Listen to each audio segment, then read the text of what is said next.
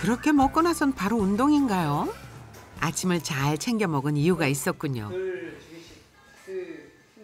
꽤 강도가 있어 보이는 웨이트 운동인데 곧잘 하네요. 다섯.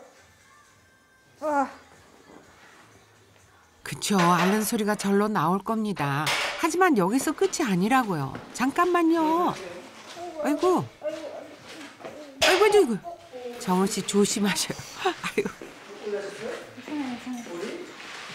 괜찮아요. 뒤통수는 강하니까.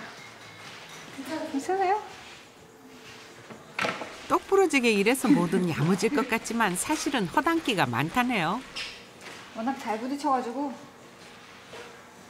대수롭지 않아요?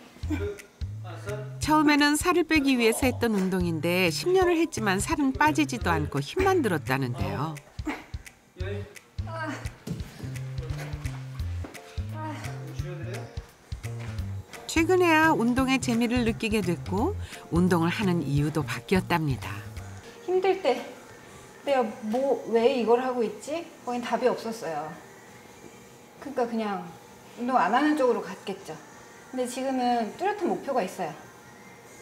1번 강해진다. 강해진다. 몸도 그렇고 마음도 그렇고. 그리고 두 번째는 저, 되게 정렬이 안 좋단 말이에요. 오랫동안 직장 생활 해가지고. 사실 목 디스크, 허리 디스크, 골반 계속 탈구되고 무릎 안 좋고 발목은 비틀려 있고. 왼쪽은 거의 다 이제 선생님 저를 뭐라고 얘기했죠 맨날? 할머니라고. 할머니보다 안 좋다고. 그런 상태예요 지금도. 근데 이 상태대로 더 나빠지지 않고 하, 그냥 그냥 이 상태대로 쭉 가는 거